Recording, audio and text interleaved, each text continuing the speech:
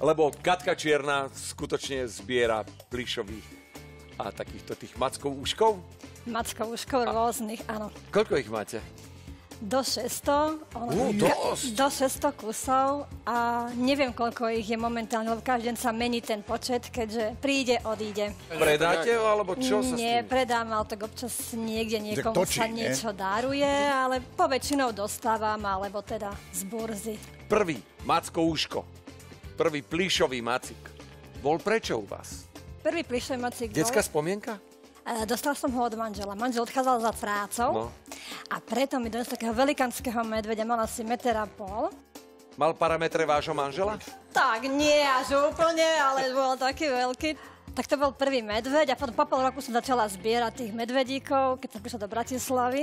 No a takto potom tu začala tá zbierka medveďov a všetkého medvedieho. Teda nezbieram len medvedie ako také, ako plišové, ale zbieram aj macikovinky, ja to volám. Macikovinky sú čo? Macikovinky, to sú rôzne veci, ktoré sa majú obraz medvedíka. To znamená, či už nejaký zošit, péro a tak ďalej. Každý medveď má svoj príbeh. A teda v tomto kufri ich je trošku viac tých príbehov.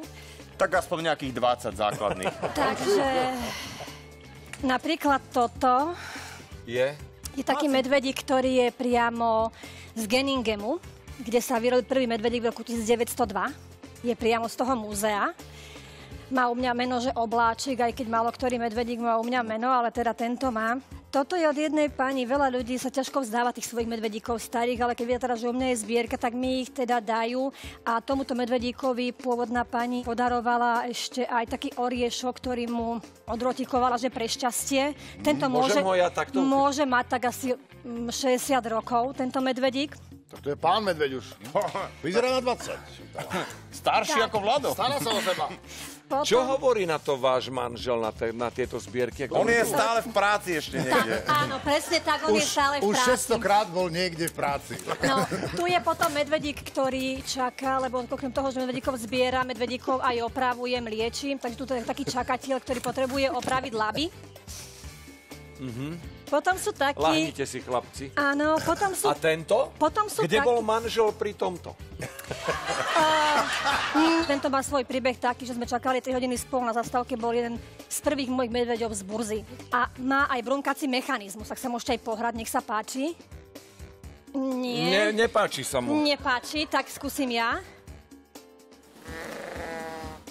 Nebuďte ho. Tratil reč. My dve Hej, je počujeme, áno. Len prosím vás, ešte mi povedzte, že... Kto chce a, počuť?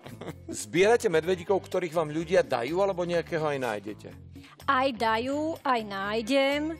Zo smetiarského auta napríklad máme jedného Ste sa medveďa. hrabali v smetiarskom aute. Nie. Ten medveď bol priviazaný na smetiarskom aute. Ten smetiar asi našiel niekde vedľa kontajnera. Tak sa spýtal, čo, čo plánuje s tým medveďom z toho auta a on, že nič neplánuje. Tak hovorím, tak mi ho dajte, ja si ho zoberiem do zbierky. Že dobre. A potom sú takí, že od súčasných tvorcov. Toto je od praskej uh, tvorkyne. Hej, Vy ste taká medvedia rodinka. Tak manžel bol, ale už uh, z medveďa prešiel... Manžel bol medveď? Áno, po... tak trošku väčší. To veľa vysvetľuje. ale prešiel k ľadovým, či za- začína plávať v studených vodách, ale stále A toto je medveďom. výsledok. A povedzme príbeh tohoto chlapca. Tento medveď je vyrobený v Prahe na jednom kurze ruské lektorky. Vyrábala som toho medvedíka ja.